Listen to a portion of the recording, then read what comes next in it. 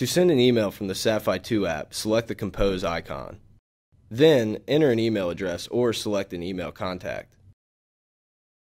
Once the recipients have been selected, enter the subject. Then, begin composing the email. Once the email has been composed, select the send icon. When the email is sent, a notification will be displayed. Please note that the Sat-Fi2 does not have a satellite connection. The email message will be placed in a message queue and sent when the Sat-Fi2 reconnects to the satellite.